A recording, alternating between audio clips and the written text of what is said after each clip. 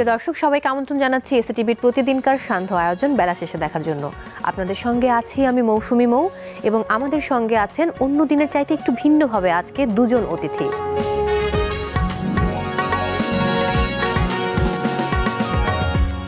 দর্শক, আজ আমাদের সঙ্গে আছেন পরিচালক রফিক শিকদার এবং প্রযোজক ও অভিনেতা মনির হোসেন যুবরাজ। কেমন আছেন দুজন?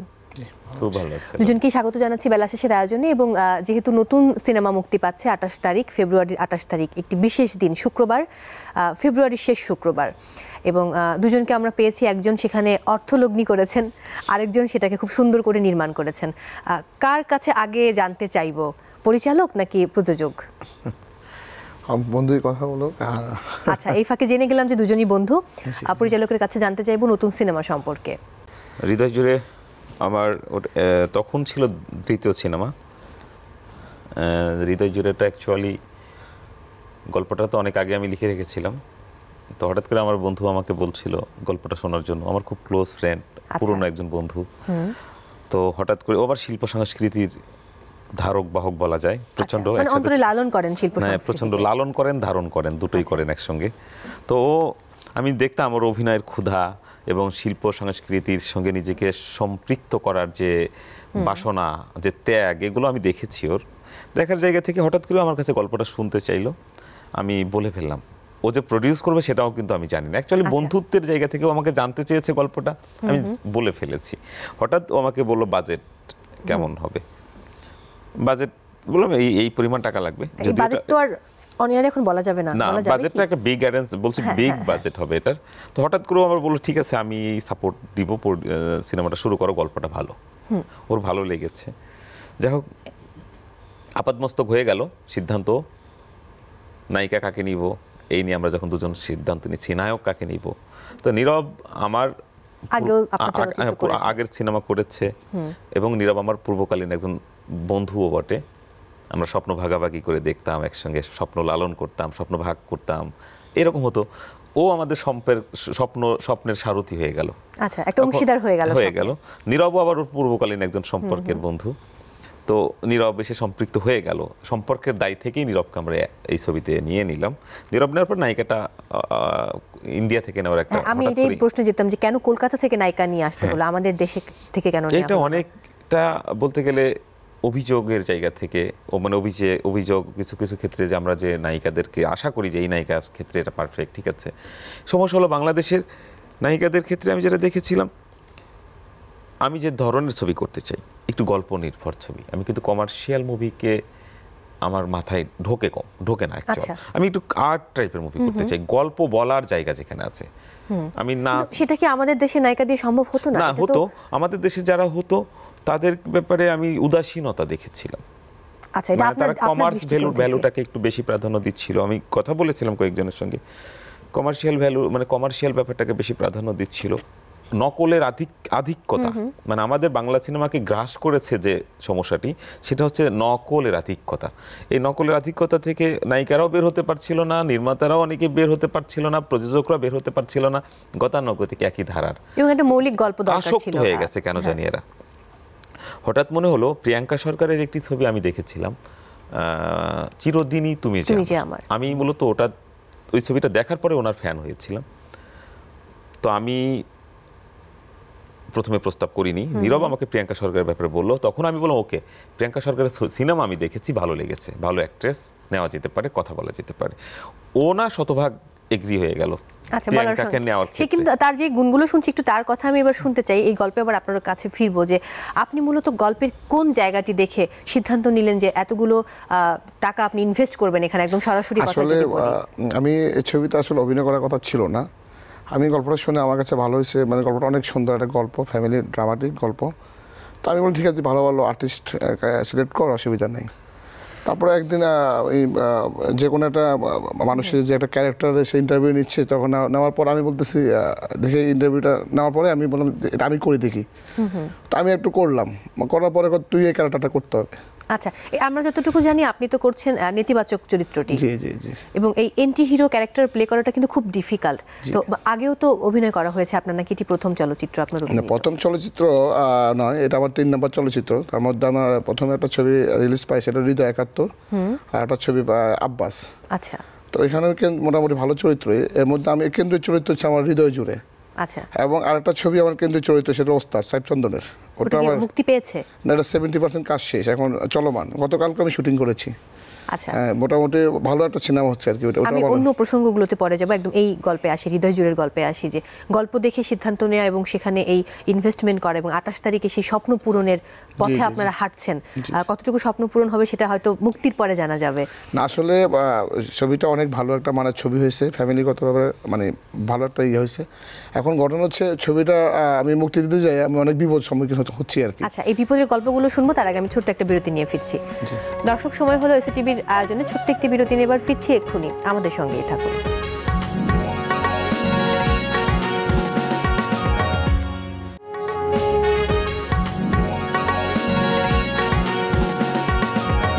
প্রিয় দর্শক, ফিরে এলাম বিরতির পর। আরও একবার স্বাগত, বেলা শেষের আজকের পর্বে। আমাদের সঙ্গে আছেন পরিচালক রফিক শিকদার এবং প্রযোজক ও অভিনেতা মনির হোসেন যুবরাজ। আমি যতটুকু জানি যে আমাদের পরিচালক যিনি আছেন, তিনি এই সিনেমার গল্প, তার চিত্রনাট্য, তার লেখা সংলাপও তার লেখা, একসঙ্গে চারটি কাজ আপনাকে করতে হয়েছে এবং এটা বেশ কষ্টসাধ্য, কারণ মানের দিকটা বিবেচনা করতে হয়। একটু যদি বলতেন যে আগের সিনেমাগুলোতেও কি সবগুলো কাজ আপনি একাই করতেন? হ্যাঁ আমি আগে যেটা আমার রিলিজ হয়েছে ভোলা তো জানাতারে সেটা ছিল আমার লেখা একটি উপন্যাস পদ্মাপাড়ের পার্বতী। পদ্মাপাড়ের পার্বতী উপন্যাস অবলম্বনে আমি ভোলা তো জানাতারে নির্মাণ করেছি। আচ্ছা। ওটার কাহিনী আমার সংলাপ আমার চিত্রনাট্য আমার পরিচালনা আমার চারটা স্তম্ভ হচ্ছে আমার হাতে। আর হৃদয়জুরের ক্ষেত্রেও চারটি স্তম্ভের স্থপতি স্থপতি হচ্ছে আমি। আবার বসন্ত বিকেল নামের যে ছবিটি আমি করলাম এটারও চারটা স্তম্ভের স্থপতি হচ্ছে আমি। এবং সামনের দিনগুলোতে যে কাজগুলো আমি করব মূলত আমি লেখালেখি থেকেই কিন্তু ফিল্মে এসেছি। আচ্ছা। আমি আমার স্টাডি কাল থেকেই লেখালেখি করতাম। আমার লেখা বেশ কিছু বইও বাজারে প্রকাশিত আছে। আচ্ছা, এখন বইমেলায় কি কোনো বই না আমি এখন এখন সরাসরি সিনেমার চিত্রনাট্য করে ফেলি। গল্পটাকে আচ্ছা। সিনেমাতে ডাইভার্ট করি। যেহেতু আমি সিনেমা নির্মাণ করি। মানে এটা একটা মাথার মধ্যে একটা পোকা ঢুকে গেছে যে সিনেমা বানাতে হবে আমাকে গল্প দিয়ে. সিনেমা আমার অ্যাকচুয়ালি খুব পিচ্চিকাল থেকে তো সিনেমার দর্শক ছিলাম। স্কুল ফাঁকি দিয়ে সিনেমা দেখা একদিনে তিনটি সিনেমা দেখে আসা। এর জন্য বাবার হাতে অসংখ্যবার মার খাওয়া। বাবার সারা রাত আমাকে বেঁধে রাখতো এরকমও আছে সারা রাত বেঁধে রাখতো আমাকে। মা আমাকে মাও অনেক ক্ষেত্রে আমাকে মানে মায়ের অনুকম্পাগুলো কাজে আসতো না। বাবা খুব নিষ্ঠুর ভূমিকা পালন করতেন এই ক্ষেত্রে সিনেমা না দেখার ক্ষেত্রে। তো এরকম হয়েছে। তো এই যে সিনেমা প্রেমটা আমার মধ্যে ছিল ওইখান থেকেই মূলত আমি লালন করতাম। অনেকেই চাইতো এক আমার জায়গা অন্য কেউ হলে হয়তো অ্যাক্টিং এর অ্যাক্টর হতে চাইতো। আমি নির্মাতা হতে চাইতাম। কারণ আমি হুমায়ুন আহমেদ স্যারের খুব ভক্ত ছিলাম। মানে এই আর্ট টাইপের মুভিগুলোর খুব ভক্ত ছিলাম। এগুলো আচ্ছা। দেখতাম মুগ্ধ হতাম সেই মুগ্ধতার জায়গা থেকে একদিন স্বপ্ন দেখতাম যে আমি একদিন এই নির্মাণের পিছনে কাজ করব। হৃদয় জুড়ের যে গল্পটা সেই গল্পটা বাণিজ্যিক ঘরানার নাকি আর্ট ফিল্ম ঘরানার? বাণিজ্যিক ঘরানোর বলা যাবে না। আর্ট টাইপের মানে আর্ট এবং কমার্স দুটোর সমন্বয়ে একটি আচ্ছা। সিনেমা একটা প্যাকেজ দু ধরনের স্বাদই পাবে দর্শক। দু ধরনের আমরা এই মুহূর্তে মনে হয় একটু সিনেমার ট্রেলারের একটু অংশ দেখে আসতে পারি। দর্শকদের উদ্দেশ্যে বলতে চাই। আর কেউ না জানো বিধাতা জানেন তুমি আমার কে।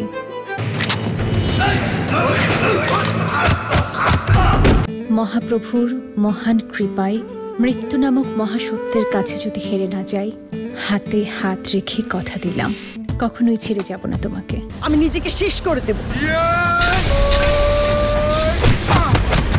যেই ছেলে আমার ভয়ে ঘন্টায় দেড়শো কিলোমিটার গতিতে দৌড়ায় আর সেই ছেলে কিনা আমাকে মারতে এসেছে। শান্তি নাই রে শান্তি নাই। শান্তি নাই ঘুম নাই তাহলে তো আপনার বেঁচে থাকারও কোনো অধিকার নাই। তোর মতো হিংস্র হায়নাকে ভালোবেসে আমি ভুল করেছিলাম। তো বিশ্বাস যদি যায় রে ভেঙে অবিশ্বাসের ঝরে বেঁচে থেকেও মনটা যেন আমরা কিন্তু সিনেমার ট্রেলার দেখে নিলাম এবং একটি সিনেমা নির্মাণের পেছনে অনেক গল্প থাকে। যেমন আপনি কিন্তু এখানে আপনার বন্ধুকে পেয়েছেন সঙ্গে এবং আরও আর যখন কলকাতা থেকে নায়িকা নিয়ে এলেন, তাকে এনে পুরো সিনেমা করানোতে কিন্তু কোনো ধরনের প্রতিবন্ধকতা কি ছিল? যেমন বিরতির আগে উনি আমাকে বলছিলেন যে অনেক ধরনের বাধা পার হতে হচ্ছে সিনেমাটি মুক্তি দেওয়ার ক্ষেত্রে। এই বাধাগুলোর কথা জানতে চাই। বাধাগুলো হচ্ছে সিনেমা প্রথমে বাধাটা হচ্ছে যখন সিনেমাটা করতে যাই আমাদের প্রায় বিশ দিন শুটিং করার পরে মানে নায়িকা প্রায় সেভেন সেভেন্টি কাজ মানে কাজ শেষ। সে আচ্ছা, তো আচ্ছা। বলতেছে আমি ইন্ডিয়া থেকে একটু ঘুরে আসে পরবর্তীতে কাজটা করে দেবো আর কি। আসলে ওর মধ্যে ওর মধ্যে একটা ধন্দ লেগে যায়।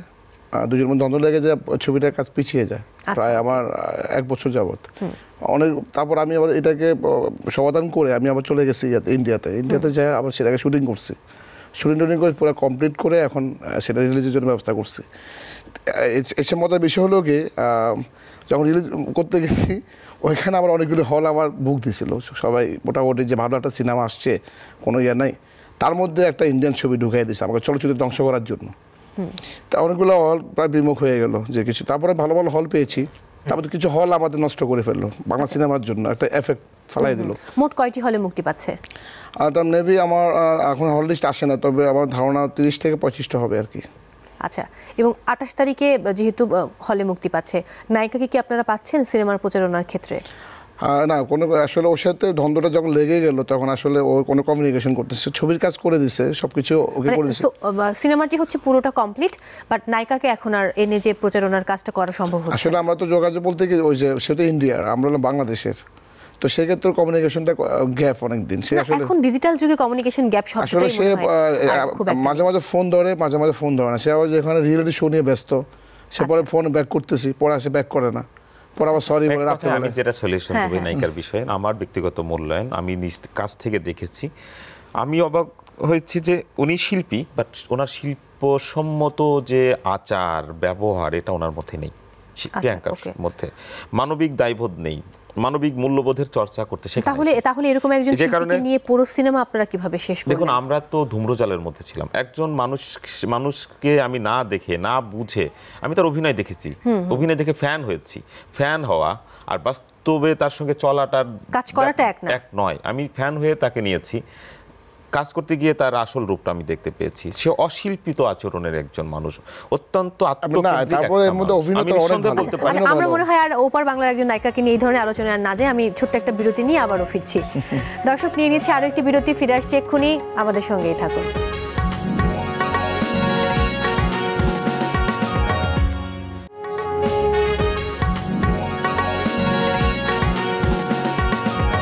প্রিয় দর্শক, ফিরে এলাম বিরতির পর। আবারও স্বাগত বেলা শেষের আজকের পর্বে। সঙ্গে আছি আমি মৌসুমি মৌ এবং আমাদের সঙ্গে আছেন পরিচালক রফিক শিকদার এবং প্রযোজক ও অভিনেতা মুনির হোসেন যুবরাজ। আবারও ফিরে এলাম গল্পে এবং যেহেতু আজকে এই সিনেমা মুক্তি নিয়ে আমরা গল্পে বসেছি, সুতরাং এই সিনেমার মধ্যেই থাকতে চাই অন্য আরও অনেক গল্প আমাদের ছিল যদিও। একটু শুনতে চাইব কয়টি গান আছে এই সিনেমাতে? সিনেমাতে তিনটা গান।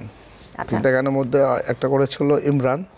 ইমরান বৃষ্টি ও সে ওটা সংগীত পরিচালনা সেই করেছে। আচ্ছা আর বেলাল খান আর দুটো গানই তার মধ্যে একটা স্যাড সং সেই করেছে আর একটা হলো কোনাল।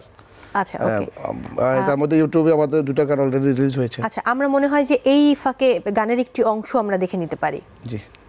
দর্শক চলুন এই সিনেমার হৃদয় জুড়ে সিনেমার গানের একটু অংশ বিশেষ আমরা দেখে নিই। ছবি ভাসে।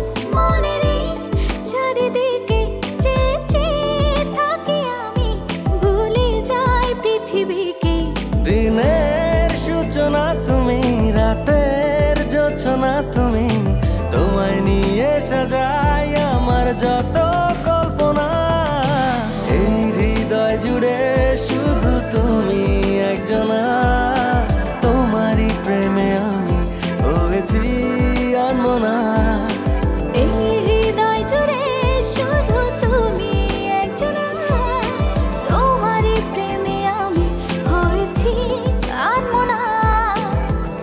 একটু জানতে চাইব যে এই নাচের যে কোরিওগ্রাফি বা গানের স্যাড সং বলি বা অন্য যে গানগুলো আছে মোট তিনটি গান। তিনটি গানের কোরিওগ্রাফি কারা করেছে?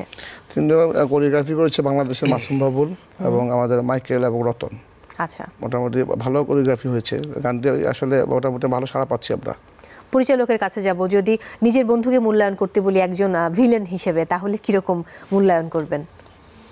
না ওর মধ্যে দুটো জিনিসের খুব ভালো অভিন্নতা আছে। সেটা ব্যক্তি যুবরাজ অভিনেতা যুবরাজ। ব্যক্তি যুবরাজ আমার কাছে তো নিঃসন্দেহে অনেক অপূর্ব একটা মানুষ। হ্যাঁ। সেটা তো দীর্ঘদিনের চলার সারথি হয়ে তো আমি বুঝে- বুঝেছি। আর অভিনেতা যুবরাজ নবাগত যুবরাজ হতে পারে মানে তার জায়গা থেকে সে চেষ্টা করেছে ভালোটা দেওয়ার জন্য। আমার কাছে মনে হয়েছে আমি যে যেটা চেয়েছিলাম সেটা আমি ওর কাছ থেকে আদায় করে নিতে আচ্ছা। পেরেছি। মানে অভিন্ন বলতে এই জিনিসটা এখানে হচ্ছে যে সে অভিনেতা হিসেবে অভিনেতা অভিনেতা হিসেবে অপূর্ব। আমার তাহলে। দুটোই ভালো হয়ে গেল। হ্যাঁ, আমি এখানে বন্ধু ভিন্নতা হিসেবে অপূর্ব। এই যে এই জায়গায় বলব যে মানে এই দুটো জায়গায় সে অপূর্ব মানে মানে অভিন্ন। যদি মূল্যায়ন করতে বলি আপনার নিজের বন্ধুকে যে তিনি একজন ভিলেন হিসেবে কীরকম আর ব্যক্তি মানুষ হিসেবে কেমন তাহলে কি বলবেন? অ্যাক্টর হিসেবে গুড। বন্ধু হিসেবে অপূর্ব। মানে আরও আরও মানে ভালো মানে গুড থেকে মানে বেটার বেস্ট বেস্ট যেতে পারছেন না হ্যাঁ বেটার বন্ধু হিসেবে গুড বেটার বেস্ট অমায়িক যেটাকে আমি সবসময় ওর বন্ধুত্বকে আমি শ্রদ্ধা করি। বন্ধুত্বের সম্পর্ক রাখার প্রবণতাটা। আমাদের মনোমালিন্য হয় ঝগড়া হয় কিন্তু। এটা হয়। কিন্তু কিছুক্ষণ পরে ওর সবচেয়ে বড় গুণটা হলো অভিমানটা ভেঙে যায় আচ্ছা। হুট করে এই যে আমার সিনেমা করতে গিয়ে সিনেমা শুরু করার শুরুতেই কিন্তু ওর সাথে আমার দুবার ঝগড়া হয়েছে। আমি সিনেমা ছেড়ে দিয়ে চলে আসছি এফডিসিতে করব না। আমার আচ্ছা। অ্যাসিস্ট্যান্ট কিনে ওর অফিসে বসি একটু কি না কি হয়েছে আমি আবার একটু অভিমানী প্রকৃতির মানুষ। আমার ইগোতে লাগলে আমি সেটা করি না আসলে আচ্ছা, কাজটা করি না যত টাকা ক্ষতি হোক না কেন আমার। তো আমি চলে আসি আমি জানি হয়তো হবেই না এটা আর হবেই না। তো ও কিন্তু এফডিসিতে আবার চলে আসছে আমার কাছে। চাইলে অন্য ডিরেক্টর দিয়ে ছবি করতে পারতো নিঃসন্দেহে করতে পারতো। হ্যাঁ। বিনিয়োগ করার লোক থাকলে মানে বানানোর লোক অনেক আছে। অসম্ভব হয় না। ও কেন জানি বারবার আমি আসলে কারও আমি কারও স্বপ্ন ভাঙতে চাই না সে একটা স্বপ্ন নিয়ে আগাইছে। ও আমার কাছে আমিও আমিও স্বপ্ন দেখেছি। তো এই নীরবও স্বপ্ন দেখেছি। নীরবও অনেক ভালো অভিনয় করেছে এই ছবিটার মধ্যে। তা আমি আসলে রাগ করে থাকতে পারি না। আমি একটা অভিমান করি আবার সেটাকে আবার সরি বলি। মোট কয়টি লটে হয়েছে শুটিং আমাদের মোট লট হয়েছে বাংলাদেশে দুটি ইন্ডিয়াতে একটি। আচ্ছা, মোট তিনটা লটের মধ্যে ছবিটা শেষ কোথায় কোথায় হয়েছে শুটিং বাংলাদেশের ঢাকাতে হয়েছে মানিকগঞ্জ সাভার জাহাঙ্গীরনগর ইউনিভার্সিটিতে ইউনিভার্সিটিতে করেছি আর বাকিটা ইন্ডিয়াতে করেছি। গল্পটার একটু আহ, সারসংক্ষেপ কি আমাদেরকে বলা যায়? হৃদয় জুড়ে হচ্ছে তিন স্বপ্নবান যুবক যুবতীর মানে গভীর প্রেমের বিয়োগান্তক পরিণতির একটি ভিজুয়াল অনুবাদ। আচ্ছা ওকে। মানে মূলত প্রেমময় একটা চলচ্চিত্র। প্রেমময়।